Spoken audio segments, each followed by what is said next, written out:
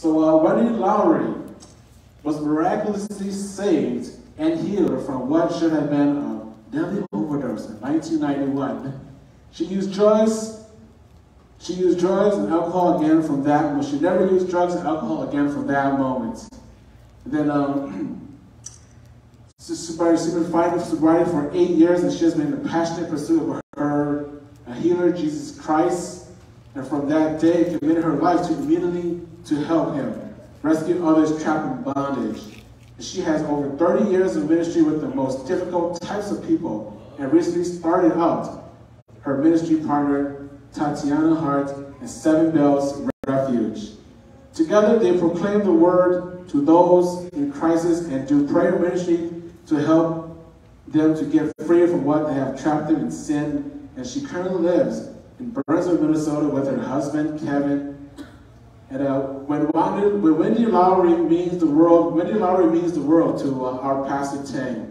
In 2003, she was the one who visited him weekly in the county jail, sharing about the love of Christ and about Teen Challenge.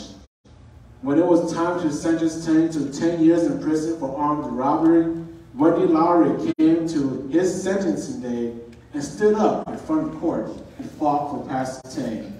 Because of her tenacity and, strong faith in the Lord, instead of going to prison for 10 years, Pastor Tang got the chance to go to Minnesota Adult and Teen Challenge Program and graduated.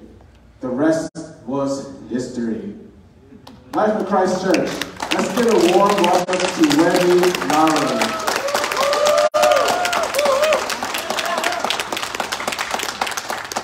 That was lofty.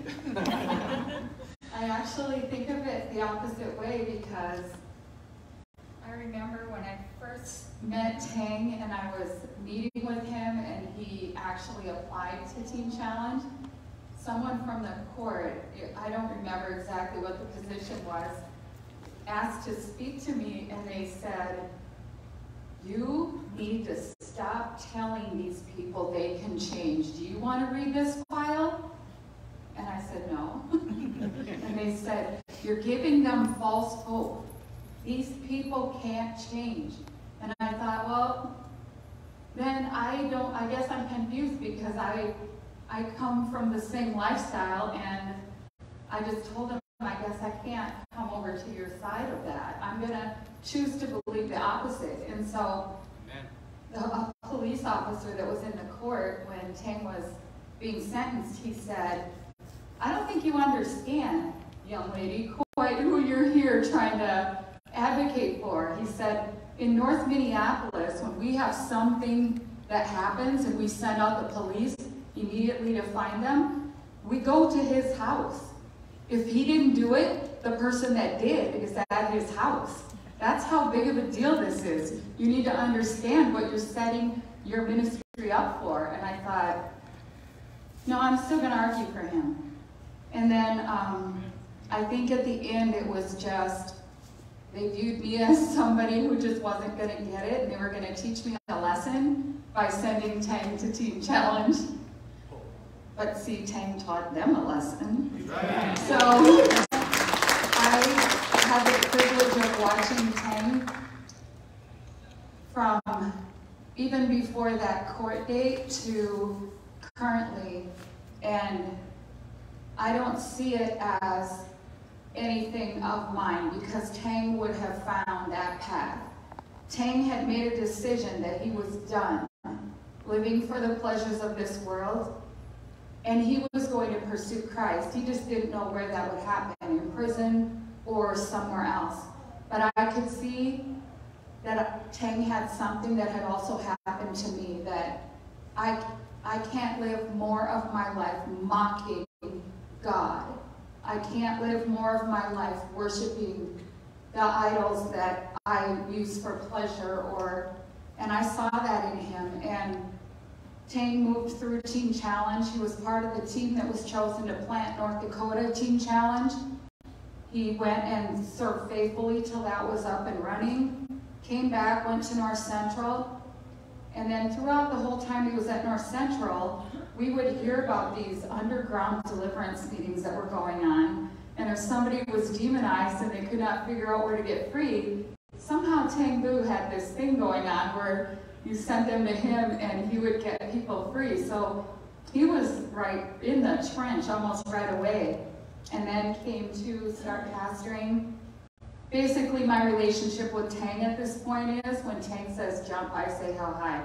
Because I'm, I'm so amazed by him. And there, I've been in ministry a long time and I've met a lot of people in high places in ministry, but there are few that hold the level of respect that I have for Tang. Very few, because I know the challenge, some of the challenges he has faced from the beginning, from when I met him, just have great respect for Boonsa, who I'm always trying to lure into my area.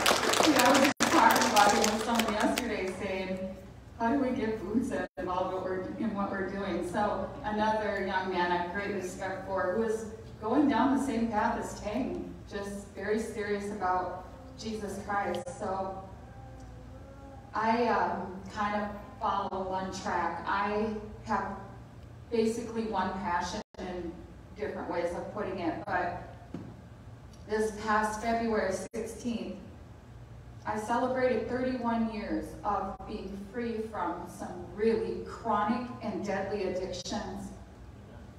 And 31 years of knowing Jesus Christ as everything. He is absolutely everything to me.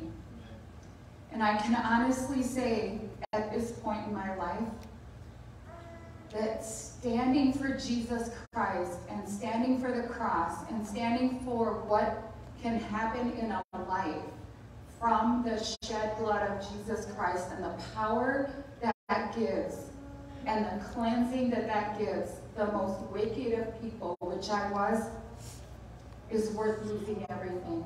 It's worth losing money, your reputation, respect. It's worth losing it all.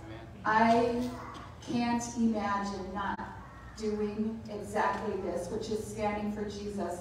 And I respect those who do the same, who will not compromise him in any way. My testimony is stunning. I'm reminded often that I am a rare one because many end up dying in their sin. Many can even come to Christ but still end up dying in their sin. Many simply die in their sin. And I was one who should have, many times actually, before it actually came to that date. But for some reason, the God of the universe chose to save me. And I was not someone that anyone else would have thought, pick her. There is absolutely no reason he should have done that. By my mid-teens, I was pretty emotionally disturbed. No one knew that because it just wasn't, I'm from a Norwegian family and you don't talk about your feelings. So I, I think I couldn't even understand the level of anger and rage I was struggling with. Certainly a, a terrible crippling problem with anxiety and abandonment. And I was without Christ. I had no idea I could be saved. I ran away from home at 16. I always intended to be good because I felt so bad. I felt so evil that I felt like if I do good, maybe I won't feel so bad. And so all through high school, I kept good morals. I didn't use drugs. I didn't drink. I didn't smoke. I always saw those who did as the losers in school, not recognizing that the pride in that position is actually more wicked than anything they were doing.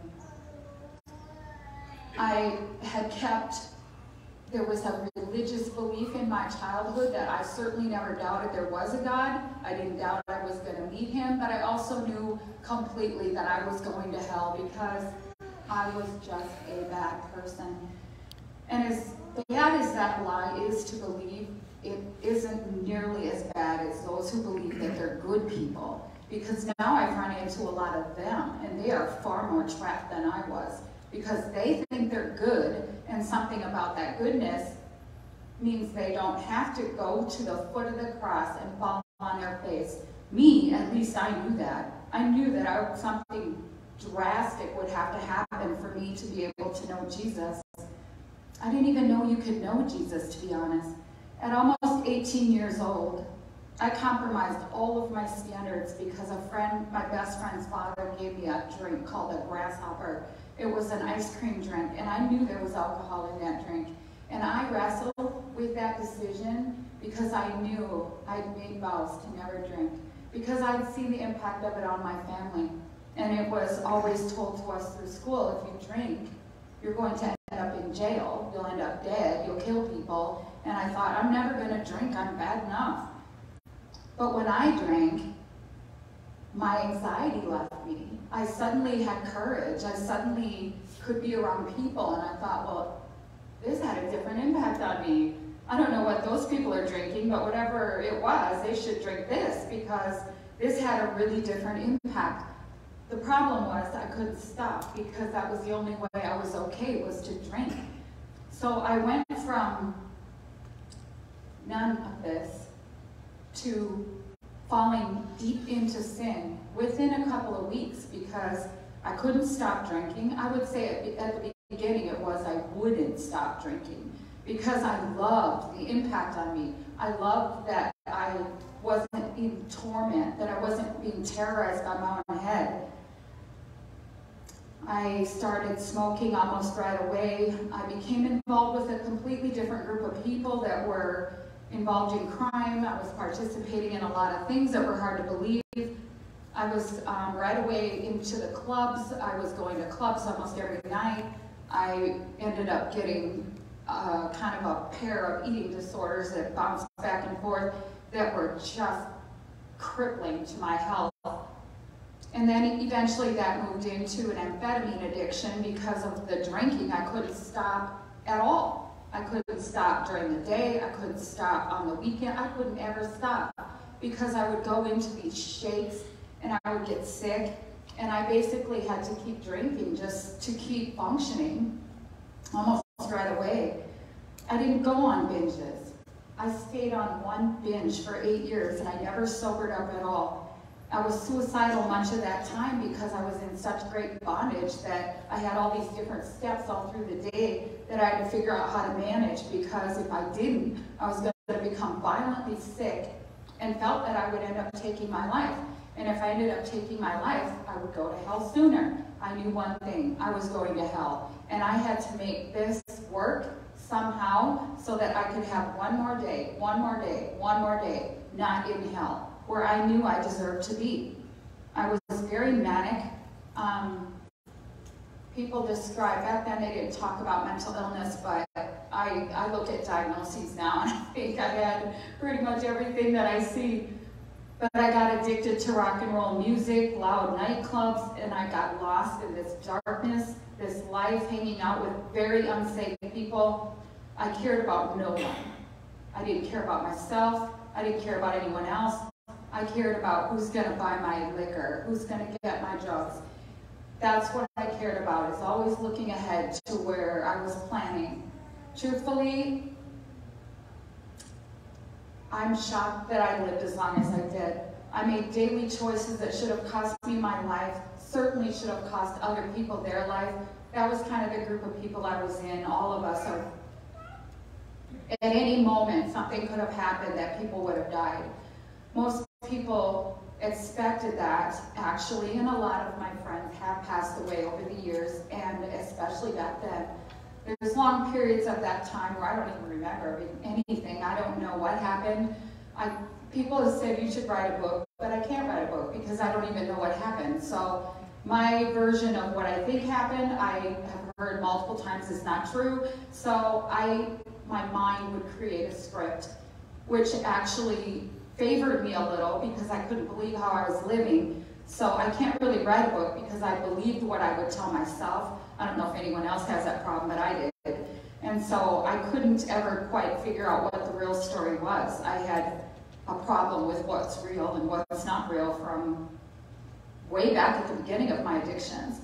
I was very socially phobic, and so that's why I had to use tremendous amounts of chemicals to be living the lifestyle I did, but because I was so damaged emotionally, I was incapable of having real relationships. I was disillusioned and damaged because my father had always rejected me. He lived in our home, but he didn't have a relationship with me. And I never found out till the end of his life why, but at that time I had no idea why.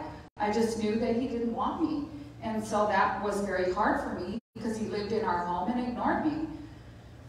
I was never engaged, married. I never even lived with a man prior to getting married when I was 42 years old for the first time. I couldn't stand being around people for very long, and it was not because I was a good person. I was the opposite of that. I just didn't like people. I wanted them to give me things, but I didn't like them. I hated myself. How could I like someone else? I was paralyzed by sinful vows that I'd made all of my life that I'm never going to love or be loved because to me it stood for something that was incredibly painful. I was in a virtual emotional prison, tiny little box inside myself, and I had no idea who that person was. I was violently assaulted and nearly murdered when I was 24 years old, and I imploded. What was left of me imploded at that time. I actually asked this person to take my life because I knew I wasn't going to recover. I rejected myself fully at that point. I couldn't even stand touching myself. I was so destroyed by that. And it was so pathetic what started to happen because when you lose your will to live, your body starts to die, and that's what happened to me. Many people would sit in the clubs with me, smoking, drinking, and absolutely zero faith, but they would beg me to go to church because they thought, you're gonna die, you're, you're dying. They could see that. They were begging me to go to church because they believed me when I said I was going to hell. They knew I was probably right.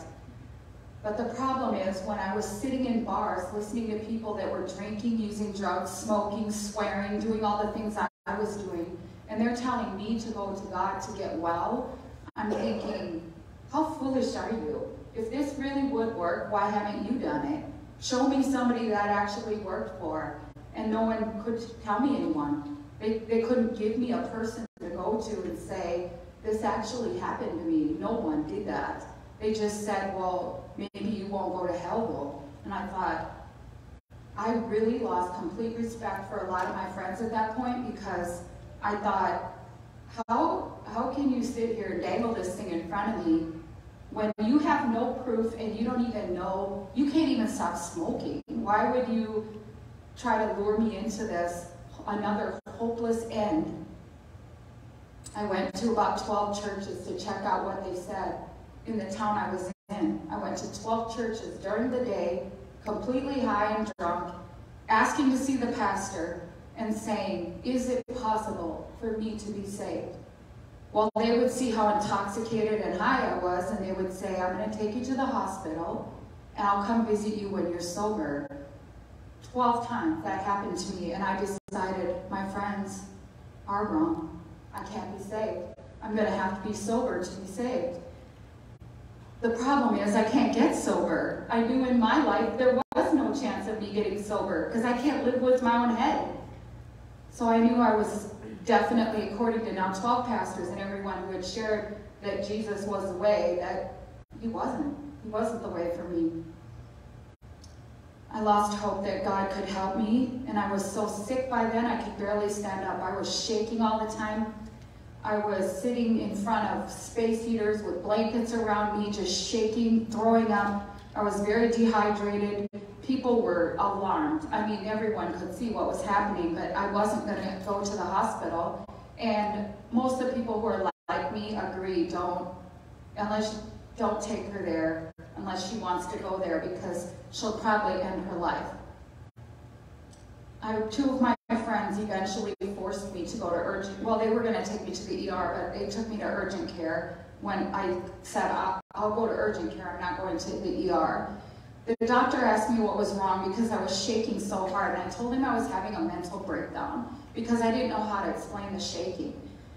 And he said, are you um, addicted to chemicals? And I said, no. I socially drink because I was concerned I might smell like alcohol. So I said, I do socially drink, but I'm not addicted. So then he wondered, well, how can I help you? What can I do for you? And he said, there's something more seriously wrong here because I wasn't the right color for sure. I was already, um, I was becoming some jaundice color. And he said, I'm going to make an appointment for you to see me next week. But I said, I need sedatives. I need to be able to rest. I want to be able to sleep. And he gave me a prescription for opiates. At that time, they weren't so regulated like they are now, and it had four refills, and I walked out the door with that prescription. I was not one who took opiates. I did not want a downer. I wanted amphetamine. So it wasn't something that I was planning to use unless I had to. But there was nothing at this point that I knew could help me.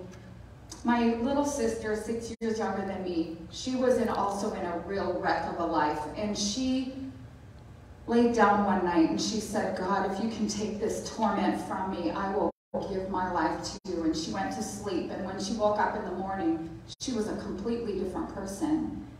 She came up to where I was living and she just kind of sat with me and she just said, I, I'm going to help you. I just, you've got to stop talking because I can't handle all the profanity. I can't handle this stuff coming out your mouth. I gave my life to God. I can't take that language anymore. So please stop talking. By that time, I was having a hard time even understanding simple conversation because my mind wasn't working well enough to where I could hear people talk to me and be able to figure out what they were saying. It was almost like everyone was talking to me in a foreign language. But I would try to understand, but I just couldn't follow conversations. She took me to, she had found a pastor in that town that was helping her. And it was the Assemblies of God pastor in Albert Lea, Minnesota. His name was Lauren Mosnes. His wife was Barb Mosnes. She took me to him because she was scared. She knew I wasn't going to live much longer. And he's uh, feverishly explaining something to me, and I'm figuring out that it must be about God again. He's trying to tell me that God can save me, but I can't figure out what he's saying exactly, but I, I assumed he was talking about God. But I thought, this man doesn't know everything that's going on with me. If I told him, he's going to agree with the other 12 that, yeah, you're going to have to go get sober first. So he said to me when I finally said, Sir, I can't understand anything you're saying to me. Like, you don't have to keep going. I'm not going to be able to pick it up. And he looked at me and he said, Don't worry about that. Jesus Christ can cut right through that. And that hit me in the head so hard that I felt like, I say a bullet or a rock hit me right in the head. I couldn't, I just was stunned. I sat there like, I don't know what just happened, but something just like a rock just flew into my head. And I, I left there. He took my hand and prayed with me, but I don't really know what that was either. I don't remember. And I left there though with this one sentence. Don't worry about that. Jesus Christ can cut right through that. And I thought, what did that even mean? I don't even know what that meant. But it didn't leave me. It just kept going around in my head. But the problem was I was too sick to keep living. I was so physically sick that I just knew there's I've really probably got limited time left. And when it gets this bad, it's I just can't even explain how physically that became so I just knew that I was going to take control of this process because of how terrible it was. And I my last lie that I believe was hell can't be worse than this. Hell is a lot worse than that. But at the time, I just couldn't. Like, I, I was so sick. On that Friday night, I took the overdose that I had already secured from the doctor. And I also mixed it with quite a bit of alcohol because I knew I knew I wasn't going to I knew I wasn't going to survive this. I knew I wasn't going to survive anyway. I just knew I couldn't, I couldn't go on any longer. I'm driving away from where I was because I didn't want someone calling the police. And I was pulled over. I've been pulled over many times, but this time the police officer really didn't talk to me that much. I don't even know that he really did a lot of the, the roadside stuff with me. He just put me in the front of his car and he took me to the police station and he was talking to me and I just don't even know what I said back. I just remember seeing his face, like it was like horrified. I don't even know what I was saying to him. Honestly, I have no idea. Whatever it was, I'm getting it out of my chest. Whatever I needed to say at that point, I was unloading it on him. He calls in other people who then do the trying to figure out what exactly has she taken. And he's had them call my family to come get me immediately to take me to the hospital. And I just remember his face when he walked out the door and other people start rushing in. My sister picks me up almost right away. I don't even know what time in the night this was. It was, you know, way after midnight, but I don't know when. My sister picks me up but I made her take me back to where I was staying because I needed my bottle of alcohol. I was like, I can't start shaking. I have to have that if I'm going to go for a car ride with you somewhere. And so I go get, take, I told her I needed something. I don't even remember what, but I got the bottle. She takes me to her pastor's house again. His wife and he gets, I don't even know what time that was, but she gets them up I want to mention about that police officer. I shared my story a couple years later, and I could see a man standing straight ahead of me, clear out the back. It was at a big church in that city. And when I walked to the back, this man stepped up to me and he held out his hand, but his hand was shaking so hard that I thought he must have anxiety like I do. But he grabbed my hand and he's just staring at me and he said, Do you know who I am? And I said, No. And he said, I was the police officer that picked you up that night. He said, when I saw your name on the flyer, he said, I thought, I've got to come see who that is. There cannot be two girls in this town named Wendy Torkelson. He said, I couldn't believe it. He said, I've been haunted by that night. I was sure you had died that night. So I my sister has me at the pastor's house. The pastor takes my sister away. He doesn't want her present. He sees what's happening. His wife, she carried me down her basement, into her basement, and she said, This is, she told me later, that's where I meet God. And she, my sister said, Don't pray in the spirit. She hasn't heard that. She doesn't know what that is. It'll really freak her out. And so by this time, I don't really have any consciousness anyway, so it's not like I'm processing what's going on. She gives a longer version of how ghastly that really was. She said you had your hands up in the air. You were I was begging her to pull me out. She said, I feel very certainly that you your feet at least were in hell. Like you could feel something that was so terrifying that I was begging her to help me and to pull me out. At that point, she said she started praying in the spirit because she didn't know what else to do. She said it was as if she knew if Jesus didn't come right at that moment, she, I was going to die right in front of her. So she's wailing. For some reason, I started to hear this wailing. And I could hear this loud crying. And then I could hear words, but I didn't know the words. They were like some other language. I didn't know that at the time. I just knew I didn't know what the words were, except it started to get clearer. Come to me, little girl. Little girl, come to me. Come to me, little girl. And I have no idea how to really explain that, except that God went past my brain into my spirit. He talked to me. And I heard him, and I responded to him without mentally understanding what was happening. And she says at that time, all she knew was God asked her to say, tell her to say, I renounce you, Satan, and I did. And she said, I went completely limp. She said, everything stopped. You went completely limp. And you were just laying there. She said, I couldn't even tell if you were breathing. You were so still. So she thought I was dead, and then she said God gave her a flash in her mind of when he would touch the demoniac, the people that were demonized, and, and they would be freed, and then they would look as if they were dead. And so she said, okay. She went upstairs, started cleaning her house, and she said she didn't come back down because she didn't know what to do.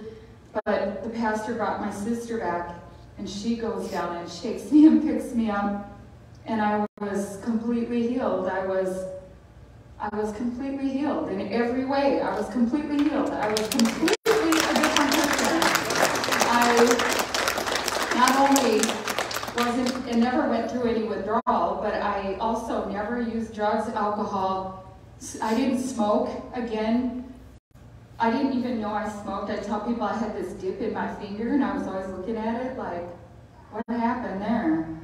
I, it was like callous and I couldn't figure out what did I use my finger for that made it like that. Anyway, I just never knew I smoked. It was gone out of my head. But I also didn't use profanity. I talked totally different. Like it scared people so bad. They were so scared of me that nobody wanted to be around me. But I didn't care because I was dumbfounded. I was like, the peace of God that passes all understanding. I had that. I just don't even know how to explain it. When you go from a whole life of torment and torture mentally to it's just peaceful in there. There's no voices. There's no, it's just completely peaceful. And I, I tell people I could have grown another limb and it wouldn't have been as miraculous as the calmness in my mind. I just couldn't even believe that I had a calm mind. So like all these other things that I was healed from almost seemed like nothing compared to I can think. I can actually think. I can sleep. I can eat. I've never had a life like this. So I had one obsession after like 20. Who touched me? Who talked to me when I was almost dead? So I pursued the one who healed me because someone thought I was worth something, but I couldn't figure out what happened.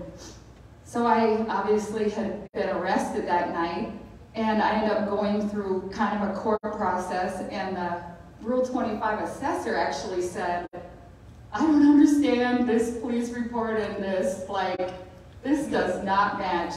It was a week after, and I'm like, I don't know what happened. I honestly don't know what happened. She says, You don't know what happened? I said, No, some pastors want prayed for me, and this is what happened. And she said, You've been born again. I've seen this before. So I learned I was born again from my Rule 25 assessor.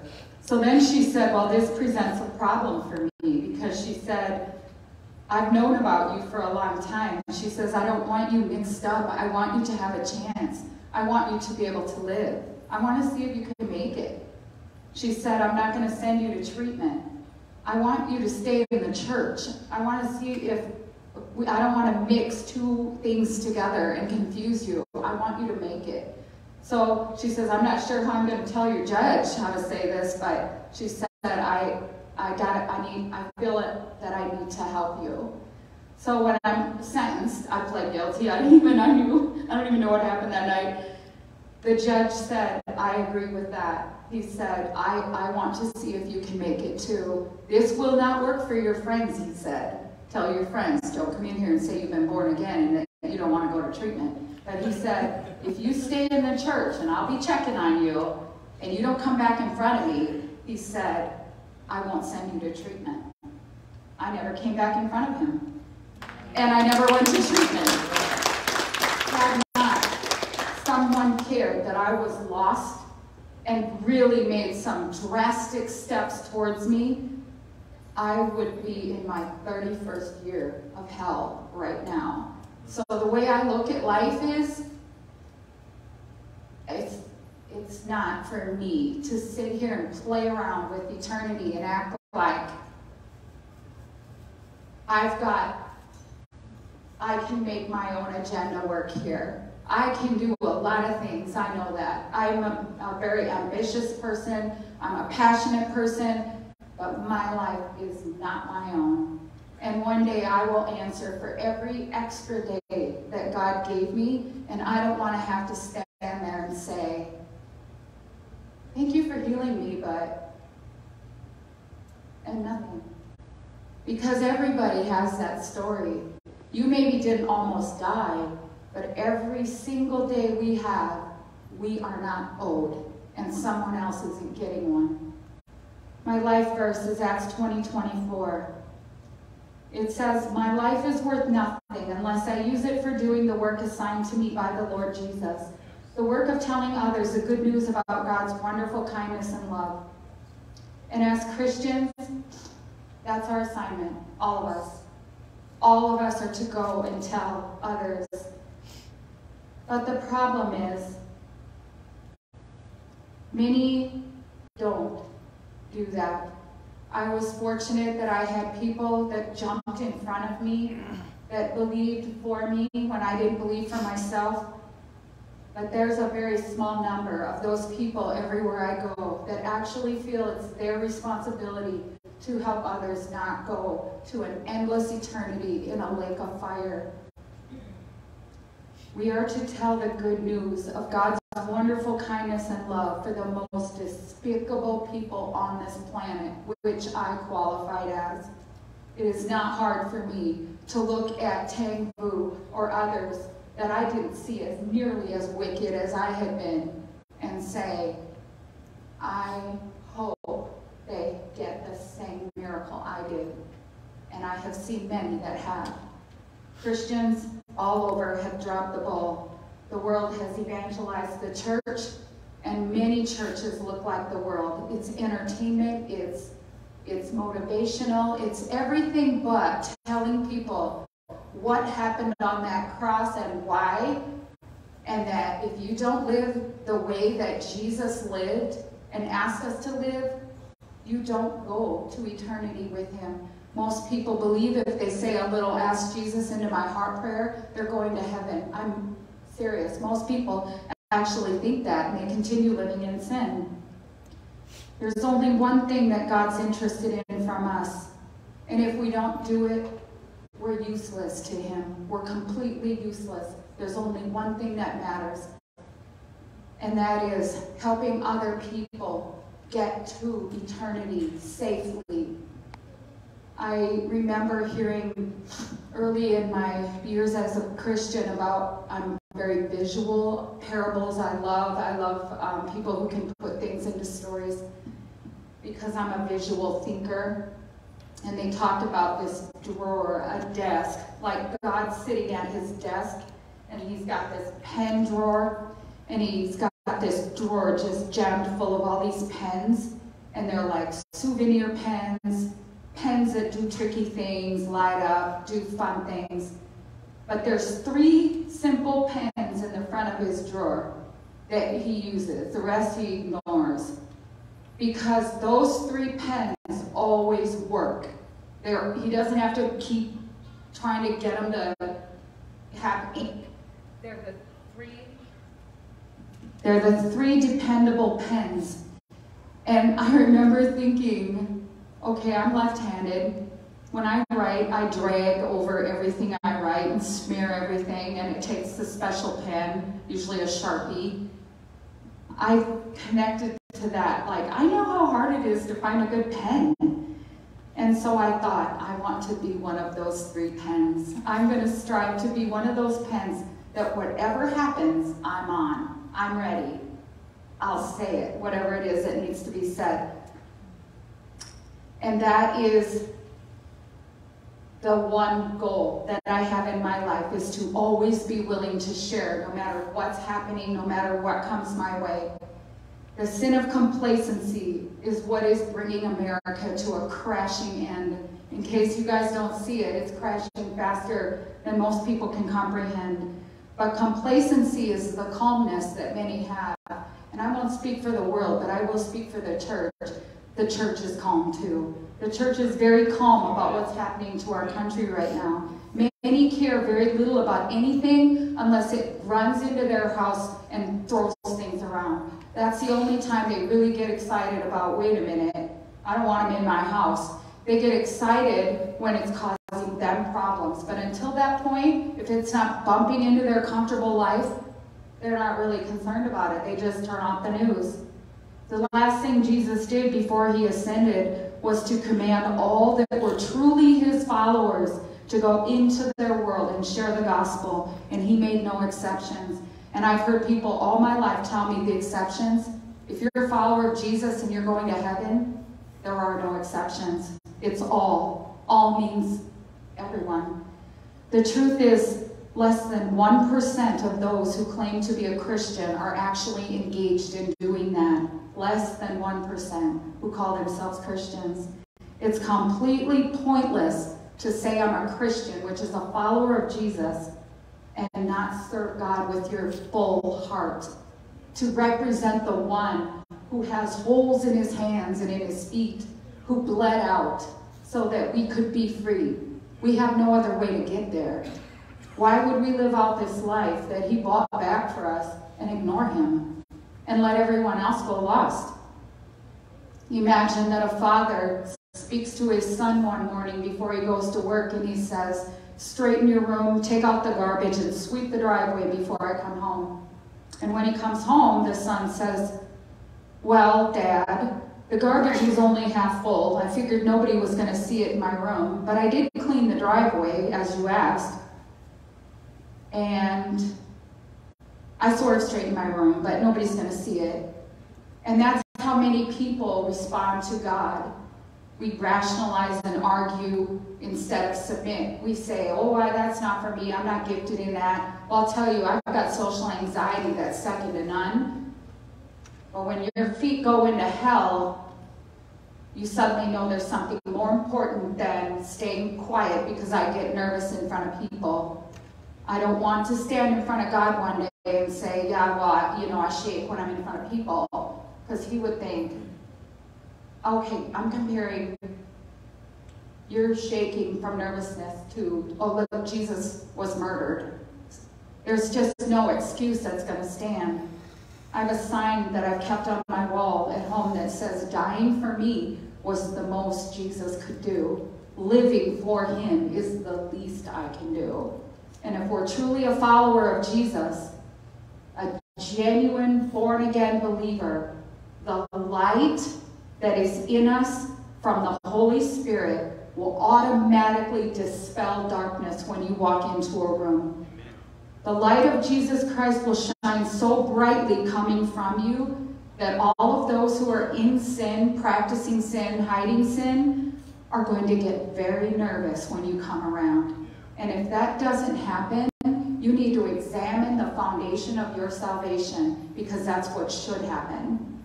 It's not just the death of Jesus for me, it is the life of Jesus from me that also needs to be seen. His death and his resurrection will signal salvation because the light coming from you is a candle on a hill. It'll light up a room. Saved looks and talks saved. Charles Finney, 1792 to 1875, has been called one of the greatest evangelists, but his preaching was to those who profess to be Christians. He said back then, before 1875, that most people in the church are not living in a state of true salvation. And he felt his calling was to see so-called believers of his day actually converted to Christ because he didn't feel that they were by how they were living. And he spent his life preaching piercing salvation messages inside church buildings and Bible colleges. Many who thought they were saved were under a delusion because they were, they were, they were writing the definition themselves of what they felt saved should be, not what the Bible says saved is A current leading evangelist, Ray Comfort, says, it's fairly common to hear someone give a testimony by saying something like this.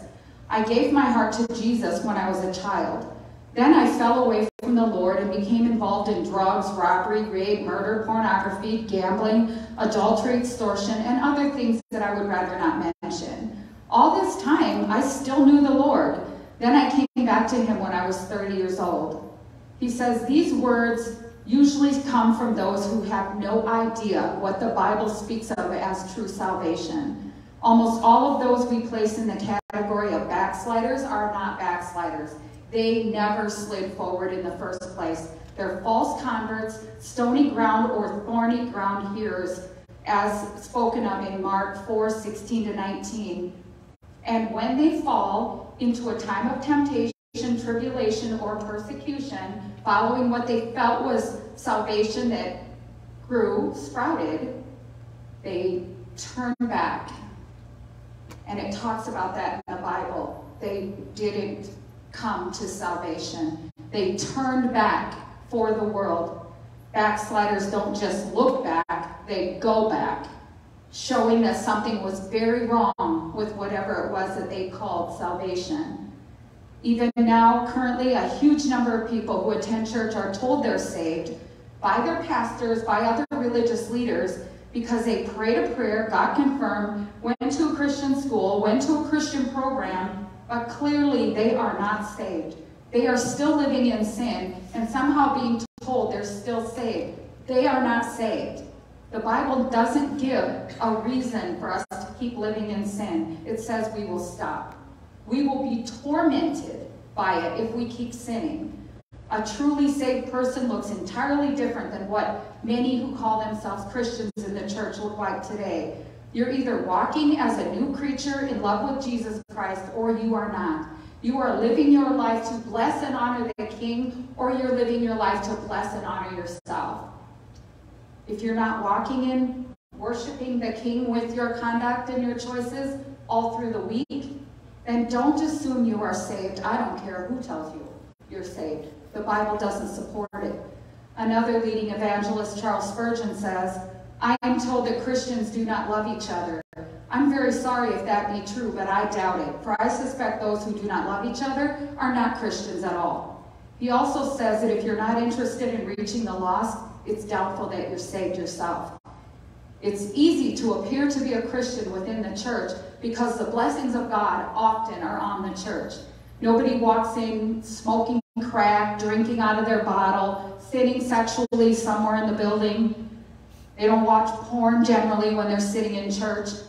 It's easy for everyone to look at all of us and feel amazed that we're sitting here quietly, all acting decent. But the expectations here require that. Don't mistake that, however, for genuine salvation in anyone's life.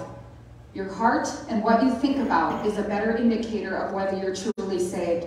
What you talk about, what you live for, how you talk to and talk about others is a much greater indicator of who the Lord is of your life. Repentance is key. It has to be there for salvation to occur. That's what Jesus says. And many that I meet that say they're Christians and are not concerned about going to hell will say they've never had any sorrow over their sins, so they don't feel like they have to really move out of this certain relationship or sexual sin. They don't have any grief over it. God has not convicted me of it, so I'm not like, they don't have any issue with it. The problem is the Bible's very clear about sin, all of it. It says living for self is sin. Nothing will drive them to the foot of the cross and surrender because they don't feel convicted. They don't even have the Holy Spirit in them. They believe what someone has told them, that they're saved because of some prayer they said. Begging God to rid us of ourselves, to destroy everything of self that's in us, that we have no passions left for self, to live for self. That's the desire that will lead to salvation. We should never, ever, ever think that something we do or say and shame the cross of Jesus Christ. We should be just broken over that. Many just discuss the world. We're trying to gain money, which has absolutely no value in eternity. They fail to realize Jesus was beaten to death for our compromise, for our love of self and gain and power. Until we realize this wickedness before God and we repent of it, we throw it down and abandon it, salvation will not occur.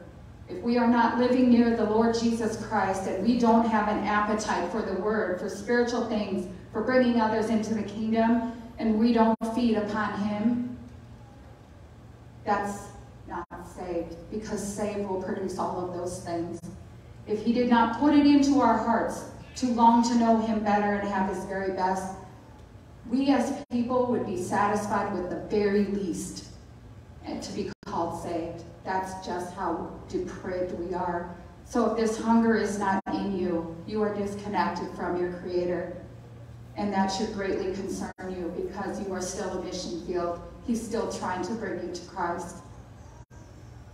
People want to appear good to the world around them. We want to use Jesus to help our image, but we don't want the obligations that our pastors have. We want the name of Jesus as our banner. We want it to make our businesses prosper and our agendas work. But God says this is a marriage. It's not dating, it's a marriage. We don't want to be totally locked into this commitment that will cost us our own personal passions. But God says this marriage will be acceptable to Him only if we are dead to those things. We have to lay them down. Our greatest sin is our arrogance that He compromises. We do, He does not, and He won't on the last day. It'll all be clear that day. He'll lay it all out, and we won't even have an argument.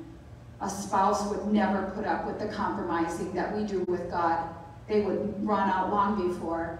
We just assume on him. We just assume. He gave up Jesus for me. He loves me. He'll bring me to heaven. I'm not as bad as some people. There's nowhere in the Bible that's written.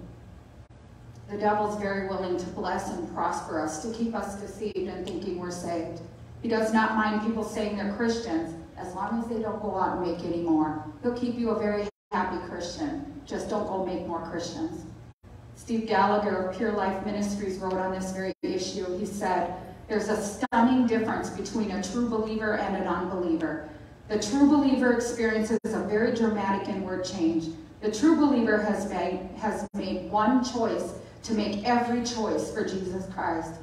We do it for relationships, so we know we can do it. So God knows He has created that desire and ability within us. We love to serve those we love. 1 John 3 8 through 9 says, The one who practices sin is of the devil. No one who is born of God practices sin as a lifestyle for very long. He hates it. In Mr. Gallagher's experience, he says that when a man draws his strength from his relationship with Christ, his long-standing growing love for God is displacing his idolatrous love for his sin and himself. He now hates both.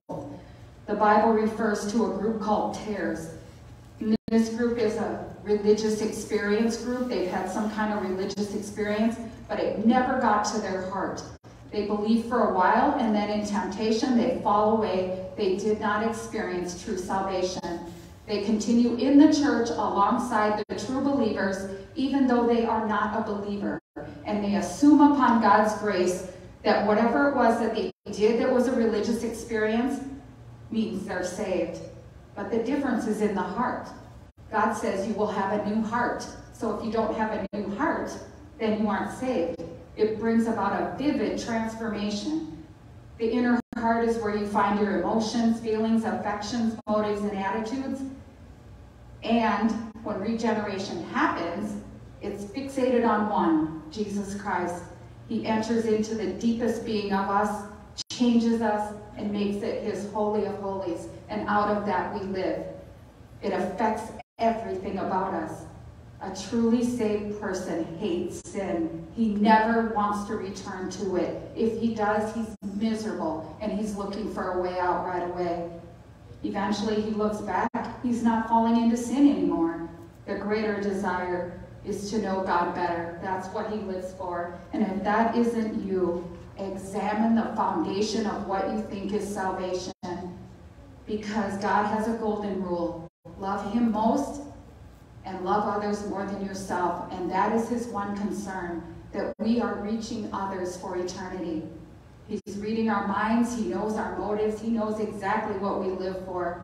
And the world is constantly reaching into the church, trying to pull people's minds away with every kind of distraction, even busy, busy, busy church work.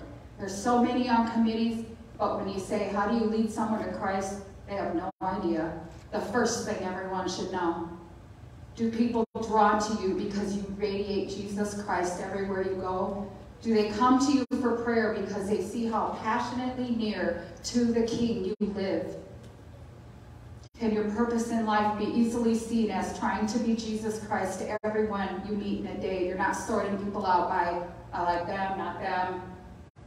This isn't about being kind or having a good attitude because many of the lost are doing that same thing. They're kind. They have good attitudes, but they're lost. People need to sense the presence of Jesus just being in the room with you because he's big enough to fill that entire room with one person. He's strong enough and he desires to have that much of us that we could walk into any place and everyone knows Jesus just came in the room. Or many say my testimony is a silent one. I'm not like you. I'm not that way. I'll tell you, I would be the first to be a silent one, except I can't keep this from bursting out of me. I was terrified of what was about to come for me. And most people will say, I'm glad that didn't happen to me, but I wish it would happen to everyone, because then there'd be more people going to heaven in the end. Our spirits are so full of ourselves. Our prayers are all about ourselves, what we need, what our family needs, but not the list of people that we know that are lost, that are dying in their sin, our neighbors who don't know Jesus. We just talk endlessly about issues, hurts, and why others are called to these certain things, but not us. Ray Comfort again tells of Christians, they give him all these excuses of why they're not called to witness Christ to others. And then he says, I will pay you $1,000 cash per person that you share Jesus Christ with today. And immediately they want to know the details. Wait, what? How do I do it exactly? What do I have to say? They were not willing to witness for Jesus to keep people out of hell, but the second there's cash money involved, they want to know exactly what do I do? How do I do it? What counts as, as finished? He says immediately they want to know how to witness. And that is sadly the state of many. Money is the currency of many. We've got to get our eyes off of ourselves and onto Jesus Christ, and low self-esteem is no excuse. Many of us would qualify for that, but it isn't an excuse to let people go to hell. We need to stop dwelling on all of our weaknesses, our pains. It has nothing to do with that. In fact, the more broken we are, the more amazing Jesus looks coming out our mouth. Jesus' life was terrible. He never drug around how terrible his earthly life was that he chose to come to. He made it the lowest experience possible. But he didn't care. He knew his home eternally was in heaven. And he wanted us with him. That's why he came. So should our motive be the same. We don't deserve heaven. We deserve hell. But he's offered it to us. We are going to be very sorry one day if we block God's purpose in our life. If the gospel you receive does not produce fruit, you need to be alarmed. Jesus cursed the tree that bore no fruit. And do not wait until the day when you say, I'm more ready, or my priorities will be better, or I have a different job.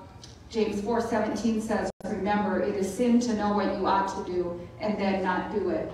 The Bible never teaches that you pray a prayer with people and they're saved. We need to disciple people. We need to bring them into a walk with Jesus Christ. And I can't even tell you how many, on one hand, how many churches are even doing that now.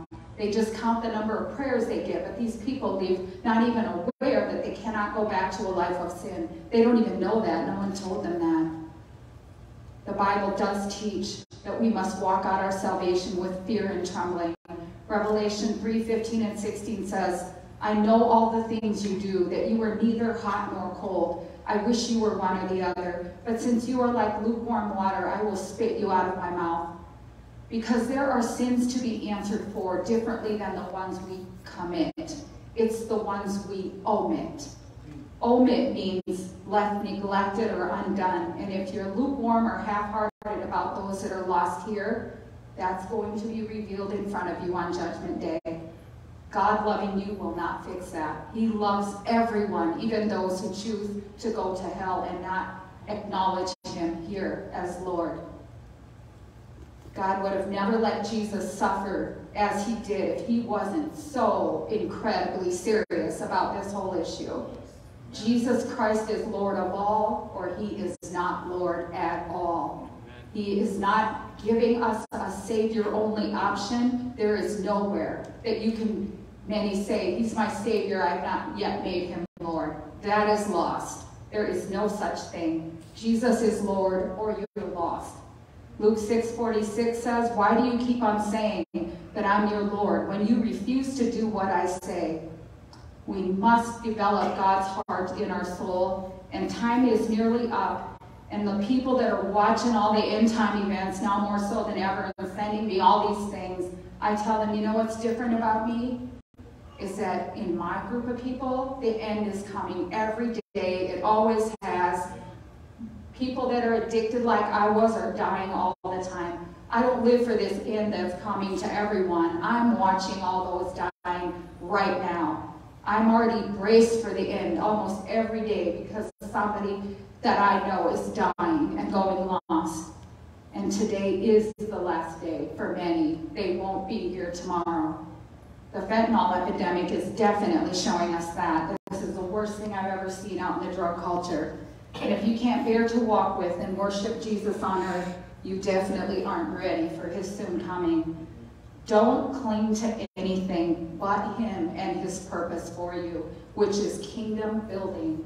Let go of the greed, the desire for recognition, significance, any purpose that takes up more time than Jesus.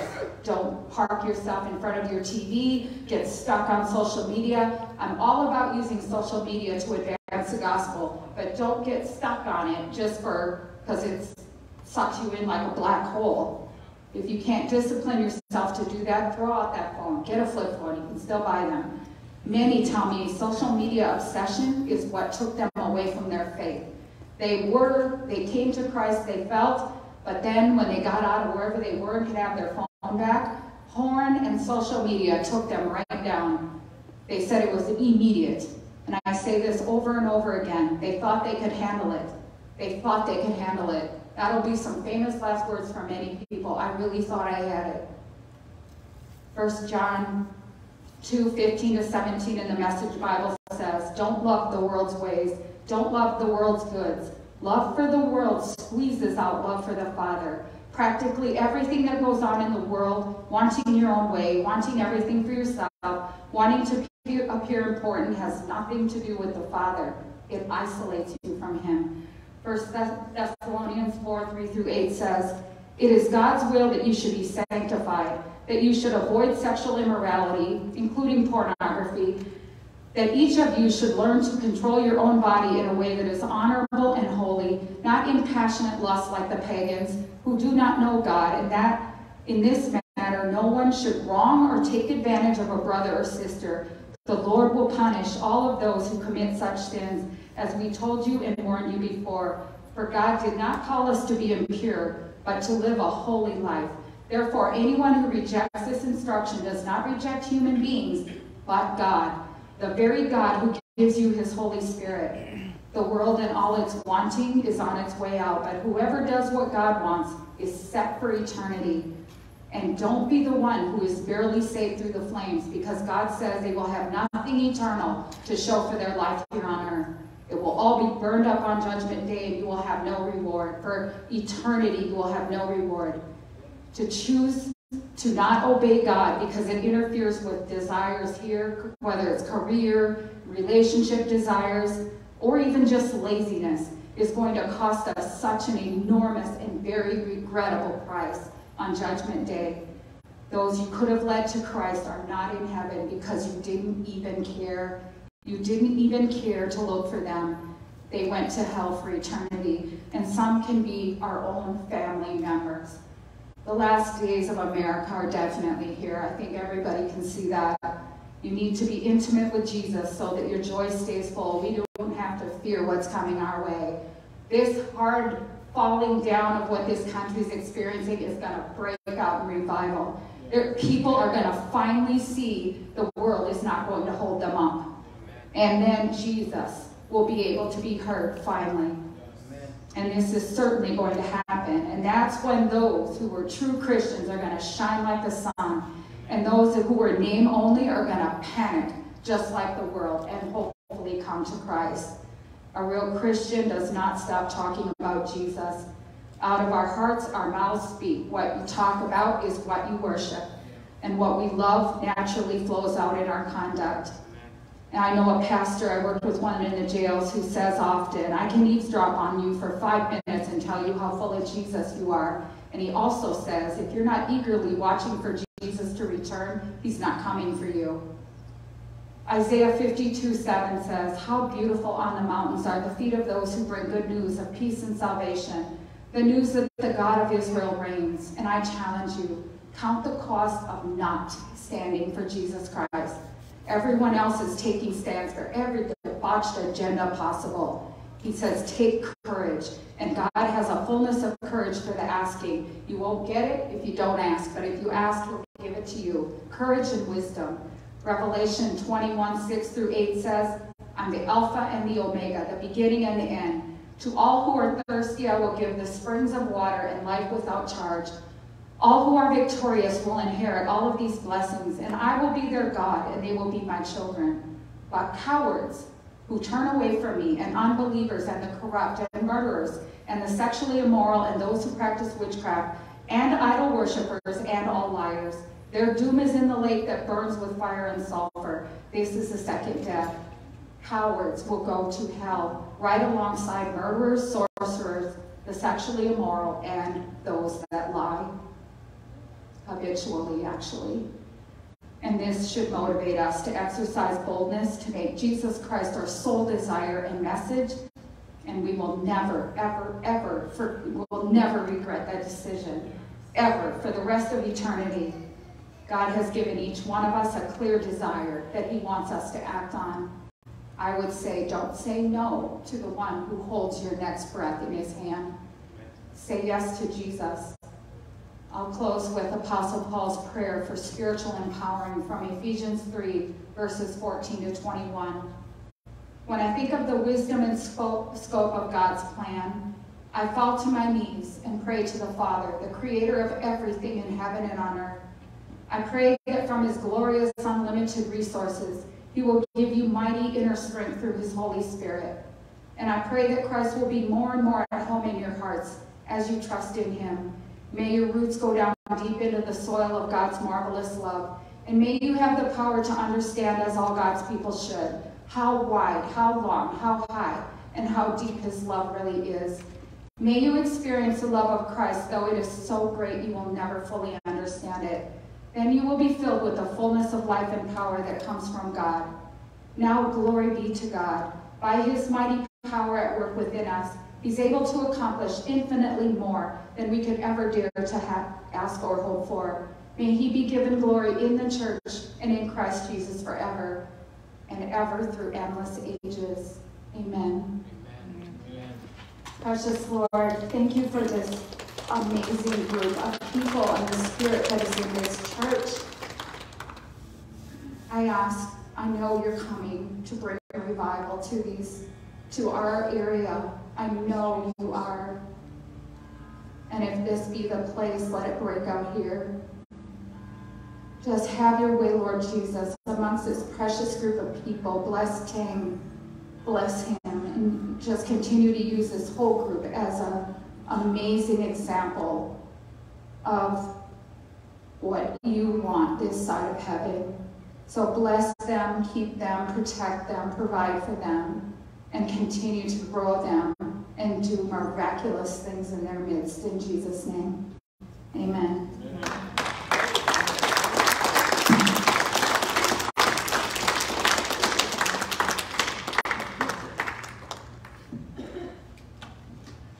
Wow, that was really, really powerful. Let's give Wendy another round of applause. Yeah. God is so good. love your testimony. That was that was so amazing It, touches it touches me dearly too because I have I had a brother that still struggles with it at the moment with drug and alcohol use, so it, it touches me very much too. So I'm, I'm praying for him every day. So I just I just want to say that it, it means a lot to me as well. So, Virginia, Virginia, let's stand up and let us pray and close. Yeah? Let us join hands. Vachepe, Okachore Kotake, Lu Vache. Vachepe, your name's Vache, pay your name's Paul. You know, we, we sin every day in our lives, God. But God, we, as Christians, you know, we you reminded us that through you, God, that your love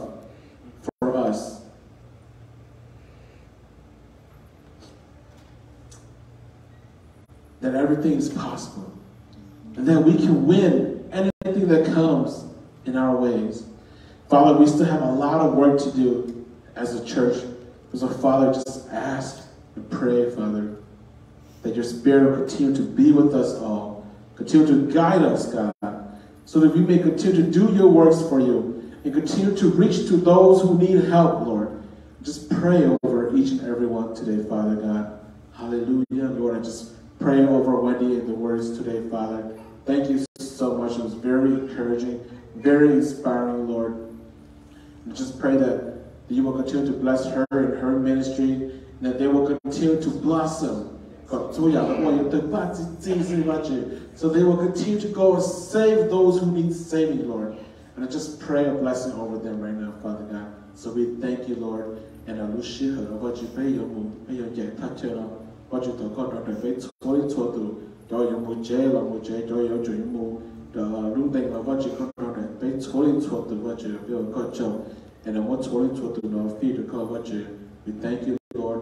We love you. In Jesus' precious name we pray. Amen. Amen. Amen. Amen. Thank you, everyone.